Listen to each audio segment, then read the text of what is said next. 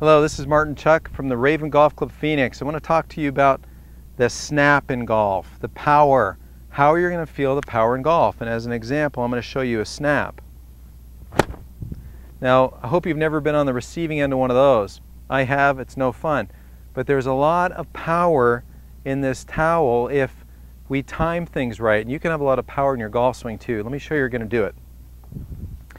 So how do we have this snap in golf? Well, the snap in golf is just like that towel. We have to transfer the energy segment to segment. One segment slows down, one accelerates as a result of the other one slowing down. You know, in golf, everybody thinks that you know we're just kind of turning and turning. Well, the facts are that's not the case. Certain things are putting on the brakes while other things accelerate. That's a lot to think about. But here's a simple drill I think is going to really help. Start over the golf ball, and I've got an 8 iron here, and you can do this with an 8 iron, 9 iron wedge, just some sort of short iron. And what you want to feel is the scenario of what's going to make this club snap. Okay, it's not simply throwing the club head with the hands, it's actually being patient, using the ground, using the left leg and letting the shoulder go up. Because this is a reverse catapult, people. A catapult, you're familiar with that? A lever, something pushes down, the other thing goes up. Well, in golf, it works the other way. In golf, we have a moment where we have some angle here and then we have an up force that our left leg is going up, our shoulder is working up. That's what helps snap or accelerate the club head down, similar to how I used the towel. So let me hit a little shot and show you a drill. So see if you can see where the snap happens, and I'll show you the drill.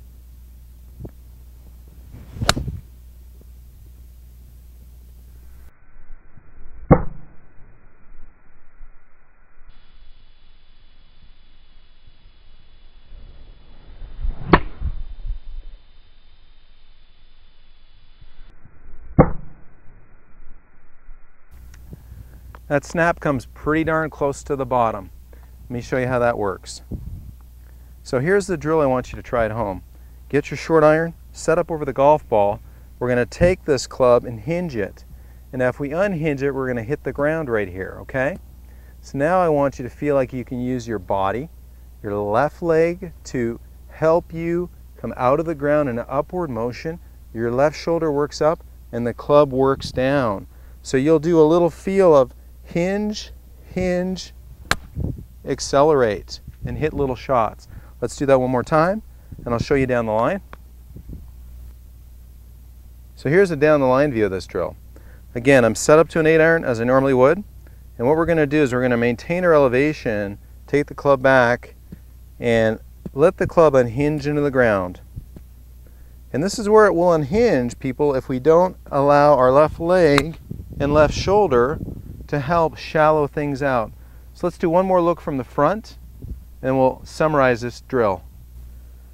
So we're going to unhinge, unhinge, use our left leg to push down into the ground to help our body come up so that we can have this pull up on the handle which makes the club head go down.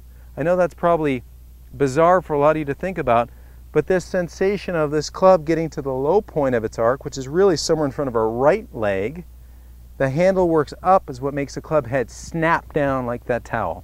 This is Martin Chuck from the Raven Golf Club Phoenix. Post your questions and comments down below. I'll get to as many as I can. Thanks for watching.